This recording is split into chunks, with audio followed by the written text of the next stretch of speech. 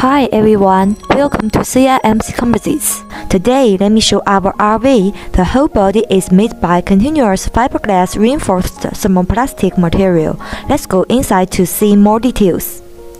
This is the main living room. Ceiling is made by CFRT laminates. Cabinet, table panel, and floor are made by CFRT honeycomb panel. This is RV's restroom. Clapboards are made by CFRT honeycomb panel also.